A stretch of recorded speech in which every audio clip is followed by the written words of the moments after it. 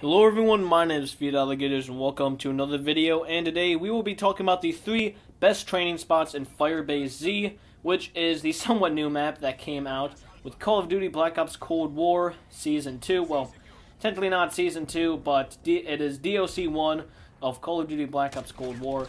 It's a really good map. Um, there's a couple spots that people don't train that I think are really good training spots, so we will get into that. But before we get into that, make sure to subscribe to the channel to see more Call of Duty Black Ops Cold War content and Call of Duty Black Ops Cold War Zombies content. I'm going to be putting out a lot more content um, sooner or later. I have a ton of new video ideas because I finally got Cold War and my Xbox working, so I can finally play the new maps, um, use new guns and stuff like that. I'm going to be starting to make new class setup videos with like the best class setup videos for zombies, guns, and also for multiplayer. Now, like I just said, Firebase Z is a very good map, but there's a couple spots people don't use for training that I think are really good areas. So we will be going over the top three best training spots in Call of Duty Black Ops Cold War Zombies. And starting off with number three on our list, this is going to be the starting room. Now keep in mind, the starting room is only good if you're training by yourself, if you're playing solo, or if everyone else is at the fire base. But I think it's highly underrated because if you circle around that tree right in the middle, it is very easy to get around and also to to get a huge horde going and then just gun them down.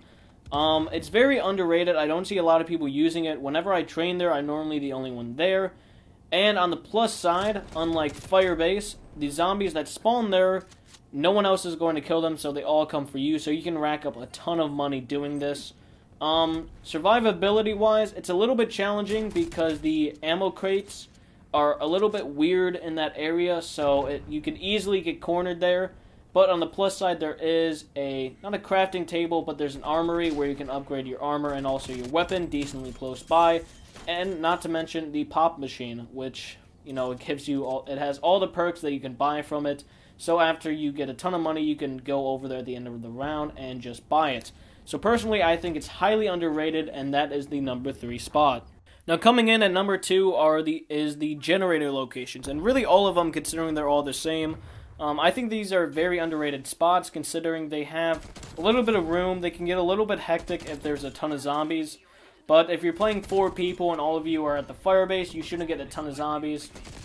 So it could be a very good training spot, and you can just go around, and you know it's it's just a decent, good, a decently good spot. Um, it's a little bit on the smaller side, like I said, so you can get a little bit crowded. But as long as you know how to round, you'll be completely fine. Especially because if you don't round in that little area, you can just go up the stairs for one of the generators, or just around the building that houses the generator.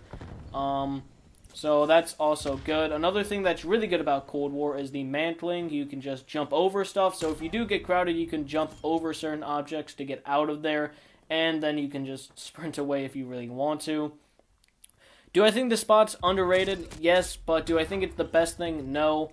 I don't think it's better than the uh, starting room, but I think it places number two on my list because it's underrated and no one ever uses them. So that's why it's here. And finally, the last spot, the best spot to train in Firebase Z has to be getting right out of the teleporter in the firebase. That big open area where the helicopter is. It's it just can't be beat. It's massively open. There's a ton of room to walk around. There's a ton of stuff you can hop on top of, like there's different um like boxes you can jump on top of temporarily. The zombies will climb up there, and what I like to do is if I know I'm going to get cornered or there's a ton of them, I'll jump up there, wait for them to start coming up, jump back down, and then sprint away. And I also use this as a technique if I want to buy something and don't want to get cornered. I'll do that so that I distract them, run, get ammo, or get a perk or upgrade my gun or something like that, and then run back to that to that training spot. It's also really nice because if you do happen to get overwhelmed somehow in that spot, you can go to all the other spots in the map because they all connect to that. And yeah, it, it just can't be beat. It's honestly super good. Um, it's essentially the same as the starting room in Die Maschine where it's nice and open, there's a ton of space. And the good thing about the this spot in Firebase is there's kind of two separate parts of it, so it actually is really seamless when you are training with two people in different spots of that area because then you normally don't cross paths, and if you do, you can easily get out of it because there's a lot of room.